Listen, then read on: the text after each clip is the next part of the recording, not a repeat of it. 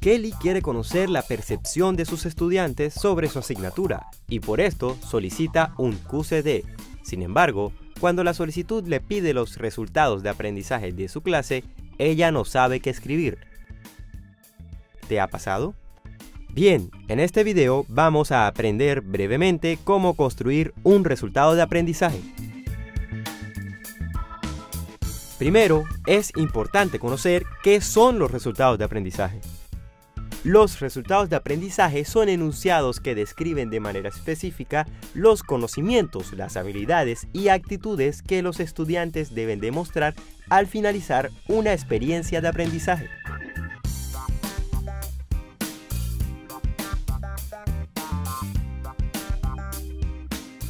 Los resultados de aprendizaje se caracterizan por ser claros, específicos, observables, alcanzables evaluables y relevantes. En cada asignatura podemos tener varios resultados de aprendizaje que componen lo que esperamos que el estudiante logre al finalizar la asignatura. Ahora bien, ¿es lo mismo que un objetivo de enseñanza? No. Veamos la diferencia. Los objetivos de enseñanza indican lo que el docente va a realizar para propiciar el aprendizaje de los estudiantes. Por otro lado, los resultados de aprendizaje es lo que el docente espera que el estudiante logre al finalizar la experiencia de aprendizaje. Por ejemplo, el objetivo de enseñanza de este video es facilitar el proceso de construcción de los resultados de aprendizaje, mientras que el resultado de aprendizaje es diseñar los resultados de aprendizaje teniendo en cuenta la taxonomía de Bloom. ¿Ven la diferencia? Las dos cosas están sucediendo pero el objetivo de enseñanza corresponde a lo que el docente hace para que aprendan, mientras que el resultado de aprendizaje corresponde a lo que el estudiante hace para demostrar que aprendió. Ahora veamos cómo se construyen los resultados de aprendizaje. Para empezar, primero debemos identificar el nivel de desarrollo de aprendizaje que el estudiante debe demostrar al finalizar la experiencia. Para esto, podemos apoyarnos en la taxonomía de Bloom, Luego, seleccionar el verbo de aprendizaje de acuerdo al nivel de desarrollo.